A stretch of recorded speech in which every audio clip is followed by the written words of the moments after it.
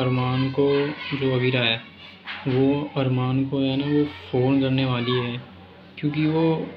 वो दोनों आपस में मिल नहीं रहे होते हैं, इसीलिए अवीरा जो होती है, वो अरमान को फ़ोन करेगी और कहने वाली है कि अब हमें थोड़ा प्रैक्टिकली अब हमें थोड़ा प्रैक्टिकल है ना, वो सोचना चाहिए, क्योंकि वो अवीरा चाहती है आई थिंक मेरे ख्याल से कि वो चाहती है कि अब जो शादी है ना, वो टूट जाए, क्योंकि अवीरा नहीं चाहती कि फैमिली में कोई मतलब चाइल्ड वगैरह उसकी वजह से ना आ पाए। इस वजह से जो अवीरा है, वो अब शादी के लिए है ना, वो अरमान से बातचीत करने वाली है और अरमान से बात करने के बाद वो खुद शायद शादी करने के लिए वो मना करने वाली है। अवीरा है ना, वो शादी करने के लिए अब अरमान से। वो मना करने वाली है अब।